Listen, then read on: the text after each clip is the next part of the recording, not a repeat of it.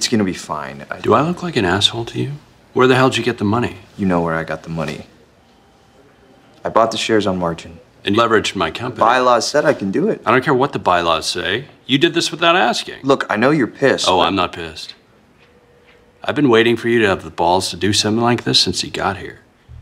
You raised my risk, but you also raised my reward, and on top of it, you did it like an investment banker. Without permission. Thank you, Jonathan. Go get him.